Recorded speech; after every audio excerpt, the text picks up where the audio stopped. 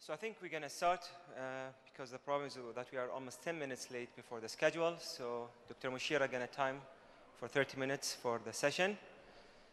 So one more time, thank you for your, um, for your attention.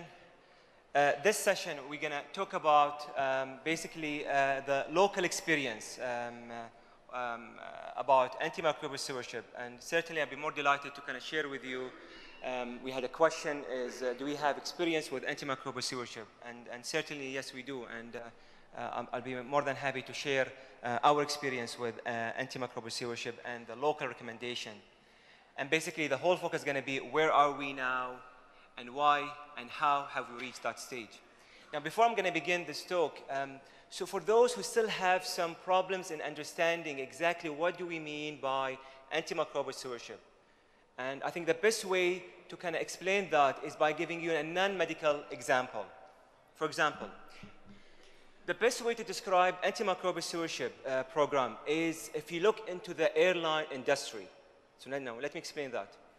Now, when you go to the airplane, you need a boarding bus, right? And you're going to go through the security check. And this is exactly what we do with antimicrobial stewardship by when you restrict an antibiotic, you need an approval. And to need an approval, we go through a checklist before we approve it. So that's example one. Again, you need a passport to go to the airline, right? So you need an antibiogram as well to kind of explain to you your local microbiology. Number three, when you're on the airplane, you're looking at the world from a high distance, thousand of feet. In antimicrobial stewardship program, you, the, you, you, you kind of look at the overall use in the hospital of antibiotic consumption as well. The top priority in the airlines that you cannot joke about it is what? Safety, right? Antimicrobial stewardship program is exactly the same thing. We care about the safety and the patient care as well. And the other last example, for God bidden, if there's an airline crash, then the whole team gonna sit and go through a systemic review, a checklist to find out where was the problem. Guess what? In the antimicrobial stewardship program, it's a team effort, but they sit and they create a system checklist um, to kind of implement the, or promote the use of antibiotic. This is exactly what do, I, what do we mean by antimicrobial stewardship program. Now, There's a nice book called Crossing the Quality Chasm, produced by the Institute of Medicine. And what they have said um, is that if you want to implement a new program or a change process, you have to go through, you have to go through, uh, through these phases. And I certainly, we went through it uh, back in 2011. In 2011, the current state was I need to implement antimicrobial or to create to begin with an antimicrobial solution program. It was too high for us to reach. It was a dream. So the first thing we went through is actually, it cannot be done. It's impossible, cannot be done. Then we find the, the key people to help us in kind of talking about the importance of antimicrobial stewardship. Then we kind of felt and experienced phase two, which is, well, it probably can be done, but you know what? it's not worth doing it. Why? Because compensation is an issue. We don't have the resources. I don't think that my superior is going to let me do an extra job for free as well. And guess what? In 2014, when you look at the result and the data, you know what we have said and we have experienced? We said, you know what? We have done it. We knew it was a good idea all along because we have seen the effect. So don't be scared from the, the, the, uh, the you know, um, the sound of antimicrobial stewardship. And trust me, if we did it, despite all the difficulties, I'm sure you guys can do it even in your hospital. So let me uh, take you through the steps. Those are uh, the team of the antimicrobial stewardship uh, program. So we have a clinical pharmacist, myself, an internist, and we have an excellent infection control uh, personnel, a data analyst, and we have an IT, which is not present in the picture, and we have a microbiology as well. Those are the team. And those are the team who have trained with, with time and experience. And we kind of at least to kind of be at a stage that um, we can at least say, yes, we do have a program. And the whole focus from this was getting every patient on the right antibiotics. Now, we had um, um, kind of a, key successful factors to implement a change. A change process is a most difficult um, uh, process, but you need to have a clear goal, why you need to do it. I need to promote the antibiotic use, but why? It's for the safety of the patient. And we are going in, 2018, uh, in Bahrain by the national uh, insurance. And one of the mandate things about the insurance is that you need to kind of publish your data about your local surveillance before they're going to let their patient come into your hospital. So that's a clear goal. Two, you really need to believe that you need to have a change. Don't say, I'm going to wait for the other guy going to do it. You need to do it yourself. You should have uh, a team that's going to work uh, in that process. Uh, I'm going to be a, a, big liar if I say I have done it by myself. You need a key people to help you with that. And finally, you need to measure it. You need to kind of feel the success. You need to kind of encourage the other co-workers to kind of implement it as well. So the five goals from antimicrobial stewardship for the BDF hospital, we had very focused goals we need to reduce antibiotic consumption and, and, inappropriate use, and that's a major problem, I think, in, in the majority of the hospital. We have a problem with the C. diff rate when we start screening for them, because at, uh, at one point we, we felt, how, how come that we don't have a C. diff uh, in this hospital, despite the fact everyone can use antibiotic? Well, because we, we were not screening for them. We didn't have a measurement the increased adherence, utilization of treatment guidelines, you need to create your own local guidelines that fits your hospital. Do not copy a guideline somewhere else and, and push it to your hospital. Study your, do the environmental scan and study your local problems. Reduce the adverse drug events. How many, how many times we have a problem with vancomycin side effect? Why people are afraid using gentamicin because of the dosing and the therapeutic narrowing index then you need to kind of be aware of those. And finally, decrease or limit the antibiotic resistance, which is a huge problem and um, everywhere. And I have to say, we had this problem um, um, um uh, as a kind of a killing um, feeling in every day that you're, seeing, that you are seeing in front of your eyes by working in the lab. This is the, this is the rate of, of carbapenemase is going up. This is the, this is the rate of ESBL. So you kind of need to kind of stop that and have an action plan. For the, um, uh, let me just uh, start with some basic um, uh, antimicrobial prescribing facts. And that's the uh, source uh, at the bottom. So one third of all hospital inpatients at any given time receive antibiotics through treatment. Up to one third to, one, uh, to 50%, they are inappropriate. I'm going to show you graph, I'm going to explain it why. Um, and up to 30% of all surgical prophylaxis, they're not appropriate. We do have that problem gynae department, they might have their own prophylaxis compared to the orthopedic. And even from the same department, you're to surprise that each different physician, they have their own prophylaxis. You know why? Because they come from different school. They train somewhere else, and that's where they're to place it. And that's a key problem. You need to make it standardized. You need to kind of tell them, you know, we appreciate your effort there. Your knowledge is excellent. Uh, there's nothing wrong with your prophylaxis, but it's not to work in my hospital based on local microbiology data. Antimicrobials account for upwards of 30% of hospital pharmacy budget. How many times do we, do we face that? When you want to introduce an antibiotic, the first thing they're going to tell us is that the budget problem can't introduce it. And we, we, can, we are accountable for this. We are accountable for the constraining the budget. So why so many mistakes? Why there's so many problems? Well, based on the studies, high number and the complexity of the drugs make it uh, a complex. There is, uh, you know, patients get sick in hospital. They have this um, difficult uh, illness that needed a multiple um, kind of uh, antimicrobials. The poor training in antibiotic use, which is kind of an unfortunate, starting from medical school as well.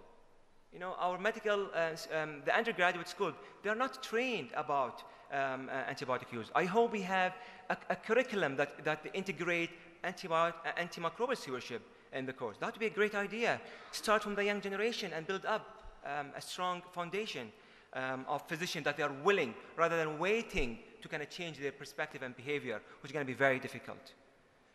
The variability over time and place, pathogen uh, uh, prevalence, you know, we have this open access, people come to Bahrain, leave, so we're going to have this mixture of uh, antibiotics, so that's why you have to do continuous surveillance. You know, don't do it just one time and just say, well, I'm happy, have done it. Continuous share the idea with our neighbors. That's uh, the whole aim from this conference. We need, we need to have an open access with the GCC countries. Tell us your problem, share your problem, teach us how, how can we manage it. And of course, we have to have an antibiotic formulations in your hospital. So this is a nice study um, kind of explaining where do things goes wrong with antibiotic. Beautiful um, art um, studies. So basically, the majority of them, so I can't use the pointer here, it's because the duration of the therapy are longer than needed. Is that correct? Yes. Now, we know with the, with the recent kind of literature reviews, we, we, are coming down with the duration for VAP, with the UTI, with the community-acquired pneumonia. It's no longer the 14 days and, you know, this long uh, day. So duration, kind of, it's kind of important in antimicrobial. How many times we treat non-infectious you know, fever does not always mean infection. Look for other sources. Treatment colonization, treatment in the microbiology lab. Again, that's the role of the microbiology lab. We need to kind of be kind of advocate in terms of colonization and contamination, but they can't have that piece of information if there's no close relationship between them.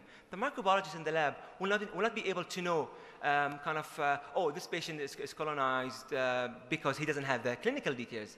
And physicians need to kind of have this close relationship by calling them and discussing the case. Redundancy is a huge problem as well, account for 10% in the studies. Now, going back to my hospital, so when we kind of um, start looking at the local provider belief, and because as I say, if you want to use a change, you need to understand your local problems. So quite a few of them say the fear of error or missing something. This is true statement in the United States, you know. I don't want to miss anything, that's why I give the antibiotic. Not believing with the culture data from the, microbiology, uh, from the microbiology lab, and that's a huge problem. If you don't have the trust with the lab, then that's a very difficult relationship. And I, I think that's two parties need to kind of work close to, uh, uh, work to close to each other. And this is when I say closing um, the quality chasm. You need to kind of um, um, reduce the gap in clinical variations by sitting and discussing. And you need to trust your lab as well. The other believe that patient is really sick and they should have more antibiotic. Unfortunately, this is with the trainee and medical students. That's the, that's the whole kind of belief that they have. The myth of double coverage, again, it's a huge uh, a problem when they say, yes, double coverage has been used for this um, certain bug or certain disease, but again, you need to understand the curriculum. A right example I have when I have um, in meningitis, vancomycin, and ceftriaxone for every single patient. But you know what? Did you read the, the, the, next sentence? Is if you have resistant, like pneumococcal strain to the penicillin, then add. Because you know, adding combination can, be a problem. So do not just take one phrase and implement it. That's the key issue here. And finally, they got better on drug X, Y, Z. So you know what? Just continue both, uh, or continue all of them. And again, that's uh, in meningitis when patients are on antibiotic, antiviral, antifungal, and you're just waiting, hoping for someone, some of the drugs to work. It doesn't work this way in 2015 anymore. So what are the factors that influence antimicrobial prescriber? Well, it's all nice, and when you want to sit with your colleagues, um, what are the problems? There are plenty of data can explain those, and this is one of the nice uh, article can explaining some factors can contribute to this problem. And I, and, and I divide it into inpatient, outpatient. Now, we kind of focus on antimicrobial stewardship on inpatient, and we kind of forget about the majority of prescription happened as an outpatient. So one of the key factors here is the expectation of antibiotic. This is the society problem now. So we're talking about patients. Patients insist in prescribing the antibiotic. And if you don't prescribe the antibiotic, so you're labeled as bad physician. Because you don't give me the antibiotic because I want to kind of feel uh, kind of uh, uh, out of this uh, illness in one day, so give me the antibiotic. So again, that's misconception. And that, and that, and that we, we need to start by educating the society about the danger of uh, inappropriate antibiotic. Inpatient, I started with the medical college, medical schools, and we have here some representation from medical school. We really wish to have the curriculum integrated um, into the medical school right from that stage and build up a, a, good generation of physicians that they are fully aware of the importance of this. Inpatients are more actually ill than complex. Again, that's a factor that we cannot change.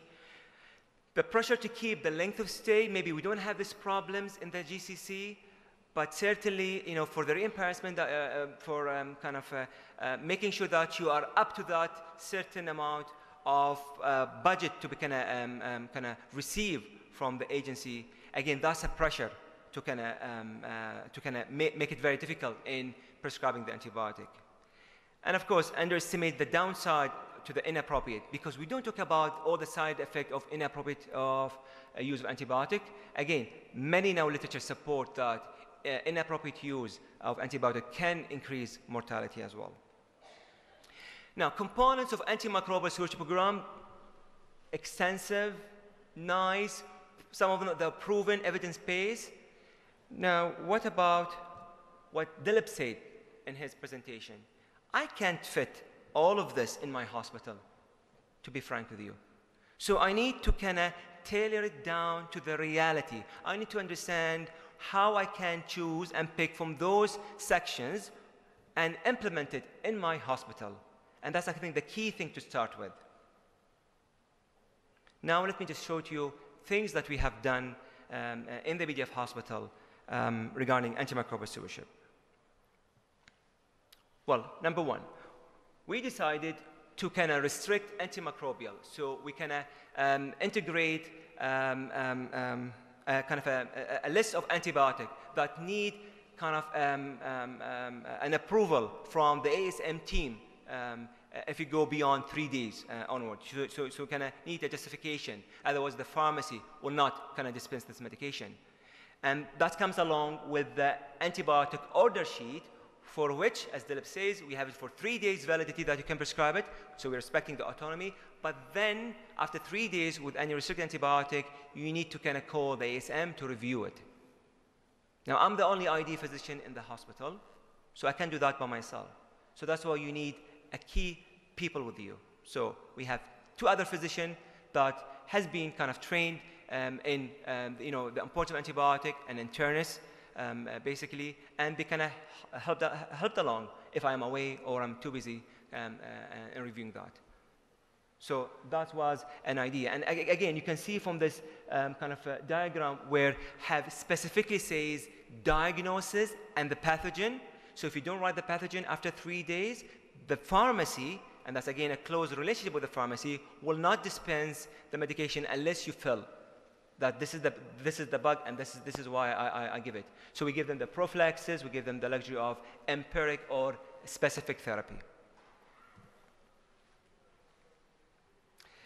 Then we implement the switch from IV to oral. Uh, we had this huge problem. People believe on IV antibiotic uh, are more superior than oral. And a great, a great example comes with the, with the fluoroquinolones when it comes to the ciprofloxacin. For some reason, they believe that IV works quicker, better than oral. And in fact, um, I don't have this data here, but um, in fact, we consume a lot of IV Cipro, and the budget goes really high up. And if you, if, you, if you apply the same amount of the consumption to oral, for example, you really can save a couple of thousand dinars. And you can just utilize that for such a nice uh, program. So again, uh, we can uh, lay that uh, in our handbook, I'm going to show you later on, about when to switch therapy from, I, from uh, IV to oral. Number four, we believe that we should have our own local guidelines. Um, I can say, oh, use this rule because I've been trained uh, in Canada and this is going to work. No, you need, to, you need to have your environmental scan and you need to kind of study your, your, um, um, your problems and you need to sit with your colleagues. Because remember, you're going to have this conflict between other physicians. Like, why do you say you want to give this antibiotic? I've been trained. So you need to sit and come to an agreement. And that's what we did. It took us nine months, yes, but finally, in 2011, we produced uh, the antibiotic guidelines, which covers treatment guidelines, 19 guidelines that's commonly we are seeing in the hospital in the BDF, antimicrobial dosage guidelines, uh, so to make sure that we don't underestimate the dose, some guidelines for adverse event, how, how, how do you monitor vancomycin, as Dilip says, vancomycin is a great drug, but the problem, we are underdosing vancomycin. We go by the therapeutic index. It's red, it's 10, it's high. But this is not correct. So if you want to give it a higher dose, you can, but you need to kind of monitor it. And of course, dosing guidance in renal function is a huge problem. And finally, I think antibiogram was a key thing, which I'm going to show to you uh, in the next slide, in, in the other slide. Now, I'll give you some example about some audits, local audits that we have done in 2009 and 2011. This is before implementation anything. And you can, you can, you can see, you know, the, the scary thing with the carbapenem consumption rate is what, way too far. Meropenem has been the drug for every single patient. Every single patient, fortunately um, um, uh, cephalosporin, ceftriaxone, has been the first drug for every single thing from the moment you come to the emergency department. Again, if you, if you don't see that, if you don't do the data, you're gonna, you, you're gonna miss it. So you, you, you kind of need to uncover that and look at the data. And that's a very scary data.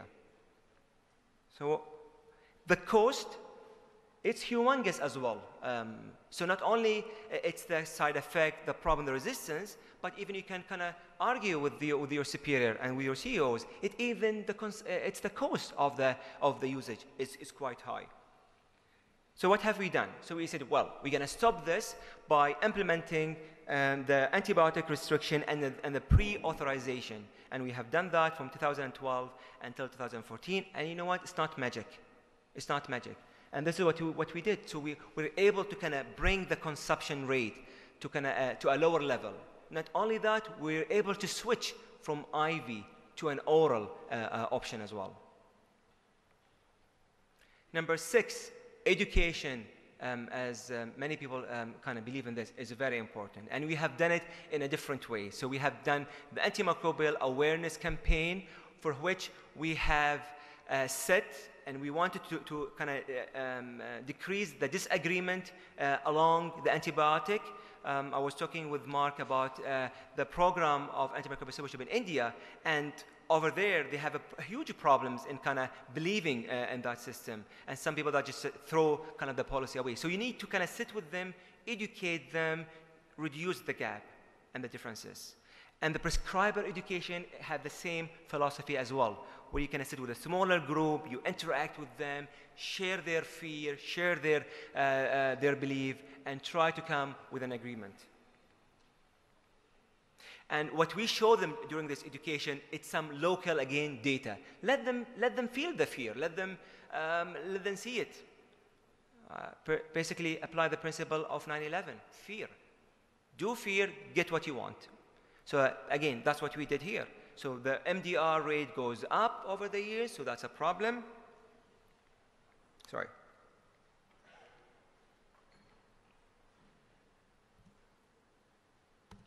Uh, I think I have missing a slide here. Anyway, the, I have missing slide.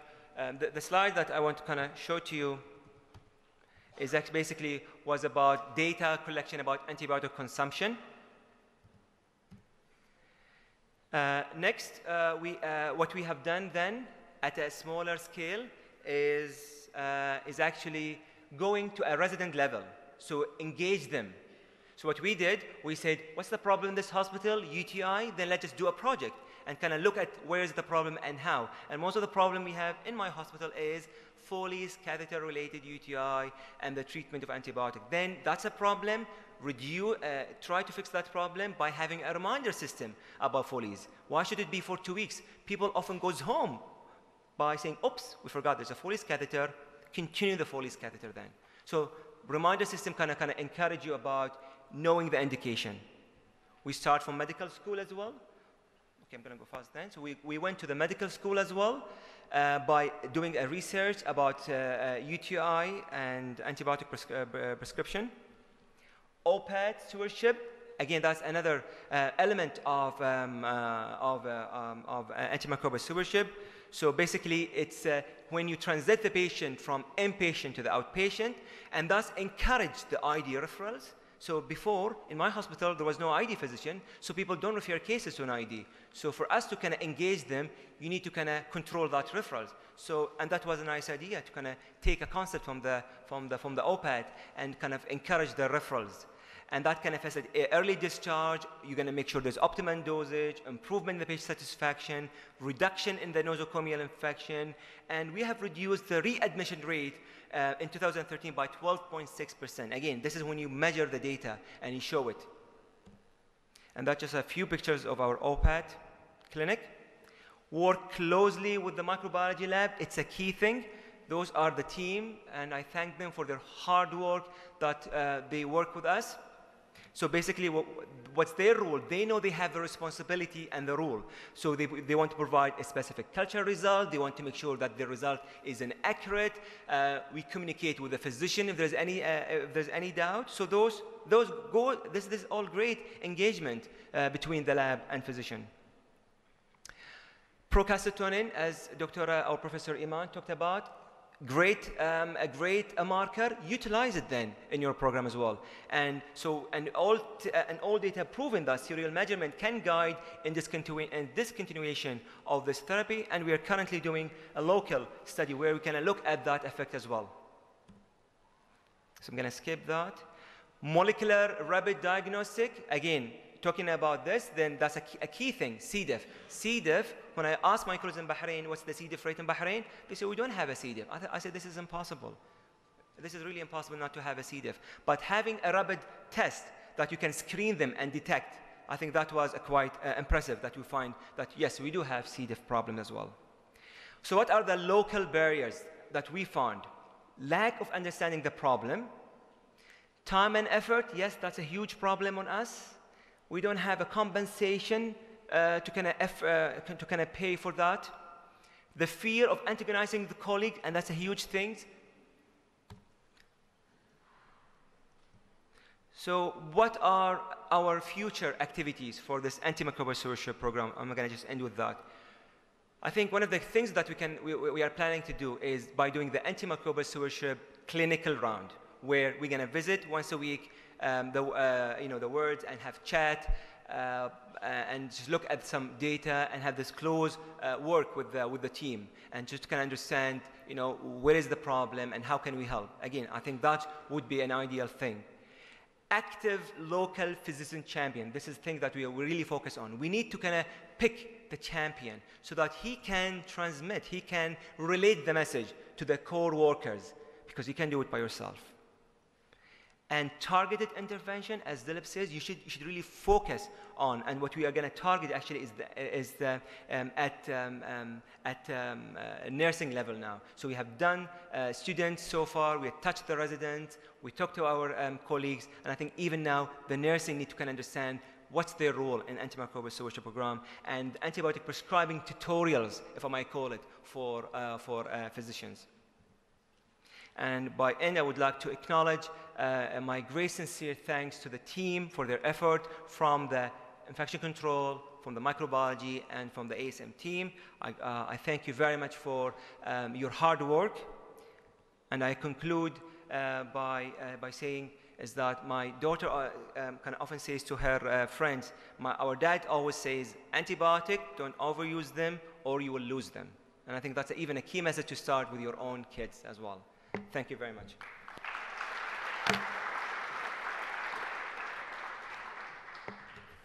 So we're going to just take a few questions. Uh, uh, oh, we don't have time.